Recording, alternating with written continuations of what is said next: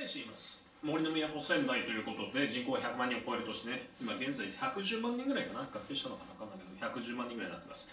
で、えー仙台ヒルズホテルってところに今泊まってるんだけどまあ駅から遠いですね、まあ、車で来てるんで車でどっかいいとこないかなって探してて、えーなかなか良さげなところということでねあの郊外にあってねゴルフ場もあるのかな、えーその中で、えちょっと広めの部屋に泊まりたかったのもあって、えその中でここにしました。仙台ヒルズホテルということで、えーお部屋がこれ30僕40平米ぐらいあるのかな？ツインベッドシングルユースということで俺一人で利用してますけど寂しくね。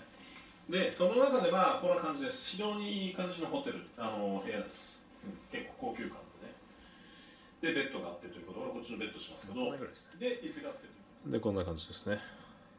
でテレビパナソニックのテレビです。絵がありまして。でここのところ椅子もしっかりしてるからね、えー座って作業もできますであとはこう窓一応開けることできるんだけどベランダがあって。ベランダからのこの仙台の夜景ね。結構綺麗です。あっちが中心かな。ということでこんな感じでね夜上の方の9階の部屋にしたんだけどなかなかいいです。でこのベッドということで。でこっち側まあここも広いですよね。でみえーっとこのお茶とかね冷蔵庫もあります。ハンガーがあって。でこれがお風呂ね。なかなかよくないですか？まあこんな感じということで。